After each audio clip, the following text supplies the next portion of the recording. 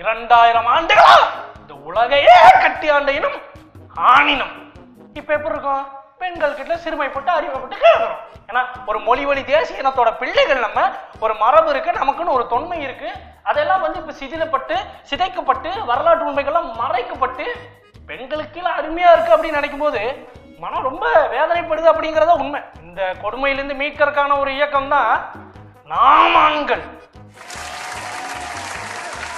நம்ம இனத்தோட தொன்மை மரபு அதெல்லாம் வந்து பல்லாண்டு காலம் வந்து இருந்த ஒரு மரபு.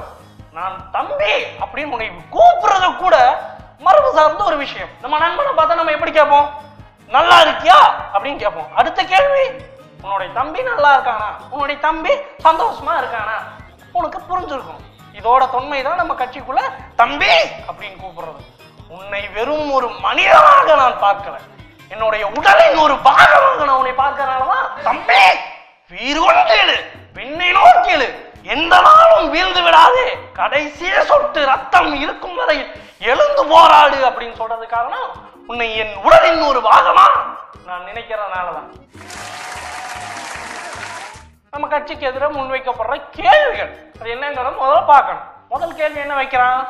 எப்படி வந்து இரண்டாயிரம் ஆண்டுகளுக்கு முந்தைய நாங்கதா இருந்தோம்? சொல்றீங்க பெண்கள் இல்லாட்டி எப்படி வந்து அடுத்த தலைமுறைக்கு போயிருக்கும்? இதற்கான பதில் என்னவா இருக்கும்? ரெண்டாயிரம் ஆண்டுக்கு முன்னாடி பெண்கள் அப்படிங்கிற ஒரு இனமே இல்லை. ஆண்களே தங்களை தாங்களே கருவுற்று தாங்களே பிள்ளை வேறு பெற்று அதிலிருந்து வரக்கூடிய ஒரு பொருளாக ஆண்களே இருந்ததுனால அந்த இனம் வந்து நீடிச்சு இருந்தது இதற்கு ஒரு உதாரணம் உங்களை சொல்லிட்டா? உனக்கு புரியுற மாதிரி எளிய விளக்கம்னு நம்ம கடவுள்களோட பெயரை எடுத்துக்குவோம். ராமன். ஆங்கிலத்தில் எழுது. அதுதான் உனக்கு எளிமையாக வரும். R A M A N வந்துருச்சா? அனுமன் எழுது. எம்ஏஎன் என் பேர் எடுத்துக்கப்பா. சாமான். இங்கிலீஷ்ல எழுது. எஸ்ஏஏ எம்ஏஎன் மேன் வந்துருச்சா? எந்த இடத்துலயாவது கடவுளர்களின் பெயர்ல உமன் அப்படின்னு காட்டி நான் வந்து என்னுடைய நிலைப்பட மாத்திக்கிறேன். இருக்காது. எந்த இடத்துலயுமே உமன் அப்படிங்கிற அந்த சொல்லே இல்லாம தான் நம்முடைய இனத்தோட பெருமை. அதை கொண்டாட மறந்ததுதான் இந்த தலைமுறையே கொடுமை. என்னன்னு இப்படி சொல்றீங்க அப்ப பெண்களுக்கெல்லாம் கடவுளே இல்லையா? நம்ம இதிகாசங்கள்ல இலக்கியங்கள்ல அப்படின்னு கேட்பீங்க பெண் கடவுளோட பெயரை எடு. அம்மன். அதுல கூட மேண்டா ராஜா இருக்கு. நம்ம தான் லீடிங்கு அப்ப பெண் அப்படிங்கிற ஒரு விஷயமே ஒரு நூறாண்டுகளுக்கு முந்தி இருந்து வந்ததுதான். அப்படிங்கிறத நீ நல்லா தெரிஞ்சுக்கணும் விளங்கிக்கணும். எவனோ ஒருத்தன் சொல்றான் எவனோ ஒரு முட்டா பைய சொல்றா பைத்தியக்கார பைய சொல்றா அப்படிங்கறதுக்காண்டி நம்ம இனத்தின் பெருமையான ஆண்களை அடிமையா விட்டுற முடியாது. அதற்கான கட்சி இது கிடையாது. அடுத்ததா கட்சி மேல வைக்கப்படுற மிகப்பெரிய கேள்வி. நீங்க பெண் மறுப்பையும் ஏற்கிறீங்க. அதே சமயம் ஆன்டிகளையும் வேணுங்கிறீங்க. ஆண் எங்க இனத்தின் கடவுள் ஆண்டிகள் எங்கள் குலத்தின் கடவுள். குல வழிபாடு இன வழிபாடு. அந்த தொன்மையில் இருந்தவங்களுக்கு இது புரியும். இதை விளங்கிக்கிட முடியும். இல்லைன்னா இந்த மாதிரி கேள்விகள் வரத்தான் செய்யும். இதே விளக்குறதுக்கு மறுபடியும் அந்த கடவுள் பெயர் எக்ஸாம்பிளையே நான் சொல்ல விரும்புறேன். முனி ஆண்டி எடுத்து பாரு. ஆண்டி வந்துருச்சா? பழனி ஆண்டி. ஆண்டி வந்துருச்சா? இதை விளங்கிக்கிட ஒண்ணு நீ நாசா விஞ்ஞானியா இருக்கணும்னு அவசியம் கிடையாது. நம் இலக்கியத்தையும் நம் இயல்பு வாழ்க்கையும் இணைத்து பார்த்தாலே உனக்கு அந்த தெளிவு பிறந்துடும் அதற்கான ஒரு பயணம் தான் இது. அறுபதாயிரம் யானைகளை கப்பலில் வச்சு கொண்டு போறது பெருமையா பேசும். ஆறு ஆண்டிகளை பாண்டிச்சேரியிலிருந்து சென்னை கூட்டிட்டு வந்து பாரு.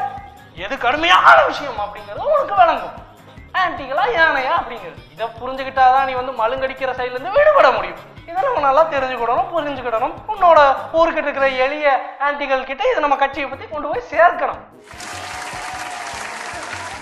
இப்படி தொன்மை வாய்ந்த ஒரு ஆண் இனத்தை சிறுமைப்படுத்தி அந்த காதல் ஒரு மனநோய். காதலிக்கிறவன் மனநோயாளி. இதை சொன்னா எல்லாம் சிரிக்கிறாங்க அவனை மீட்டெடுக்க வேண்டியதும் நம்ம கடமை. அவனுக்கும் சேர்த்திதான் போராடுறது தான் இந்த இயக்கம். மத்திய அரசோட கொள்கையெல்லாம் நீ எதிர்க்கிறேன்னு என்ன பண்ற? ட்ரெயினை நிறுத்துற. அதே ஆளு அதே தம்பி என்ன பண்றான்? ஃபிகர் செட் ஆகல வாட்ஸ்அப்ல அவளுக்காக ட்ரெயின் விடுறான் மின்னலே அப்படிங்கிற படத்துல வசிக்கிறான் அப்படின்னு ஒரு பாடல் எங்கேயும் போகாமல் வீட்டிலேயே நீ வேண்டும். வீட்டுல இருந்து என்ன பண்ணுவான்? ஒரு போர்வைகளை கொடுத்தணும். வேலைக்கு போய் சோறு வாங்கி சாப்பிட்றதாரு. ஒரு வேடிக்கை இதெல்லாம். இது காதல் மனநோய். இந்த மாதிரி பைத்தியகாரத்தனங்களும் தெரியணும் அப்படிங்கிறதுனால தான் இதிகாசத்தை படிங்க. அப்படிங்கிறோம். நீ வந்து புத்தகங்கள் வாசிக்கணும். எந்த மாதிரி புத்தகங்கள்? ஆணியன் அடிமையானான். சிதைந்து போன ஆணினம். இந்த மாதிரி புத்தகங்கள்லாம் வரலாற்று அறிஞர்கள் எழுதியிருக்காங்க. சருசாக எழுதியிருக்காங்க. அது வாங்கி படி. எண்பது பக்க புத்தகம் அது. இல்ல படிச்சவங்க கிட்ட கேளு. இவ்வளவு நாளா வாட்ஸ்அப் குரூப்பா இருந்த ஒரு கட்சி எப்படி ஆட்சி அமைக்கும்னு கேட்டாங்க. இப்ப என்ன கேக்குறாங்க? எப்படி வேலை வாய்ப்பு உருவாக்குவீங்க? ஆண்கள் மட்டும் இருந்தா வேலை வாய்ப்பு வந்துருமா? கேள்விகளை வைக்கிறாங்களா இல்லையா? இதுவே முன்னேற்றமா தான் நான் பார்க்கிறேன். இதற்கான பதிலையும் நான் கொடுக்குறேன்? இருக்கிற ஒட்டுமொத்த ஆண்களையும் ஒன்று திரட்டி ஆண்கள் இன்ப மையம் நான் திறப்பேன். எல்லா ஆண்களும் தங்களுடைய பெயர்களை பதிவு செய்து கொள்ளலாம். இகோலாவா வேலை பார்க்கலாம். பெண்கள் வாங்க எங்க ஊருக்கு வாங்க எங்களுடைய இன்ப விடுதிகளுக்கு வாங்க சந்தோஷத்தை வாங்கிட்டு நீங்க உங்க ஊருக்கே திரும்பி போயிருங்க. இங்க வந்து இவன் நான் மகனை மனம் செய்து பிள்ளை வேறு பெற்று அவன் கூடவே குடும்பம் நடத்துவது என்பது எங்களுக்கு வேண்டாம். நீங்கள் உங்க ஊருக்கு போயிருங்க. நீ நீயாவே இரு நானாவே இருக்கிறேன். இதில் உனக்கு என்ன பிரச்சனை? என்ன இது? இதன் மூலமா வேலை வாய்ப்பு வருமா? இதன் மூலமா வருமான்னு கேட்டால் ஆட்சியை குடும்பம் இல்லை. நான் வந்து எப்படி ஆண்களை கிகோலவா வச்சு உனக்கு வேலை வாய்ப்பு உன்னுடைய பொருளீட்டுற விஷயங்கள் எல்லாம் நான் ஏற்படுத்துறேங்கிறது பின்னாடி பாரு.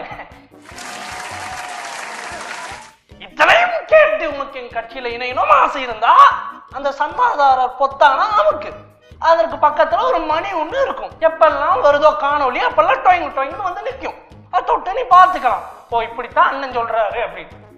அவன் இல்ல! பாம்பே ஜெய் ஸ்ரீ மாதிரி பேசிட்டு இருக்கேன் அடிமை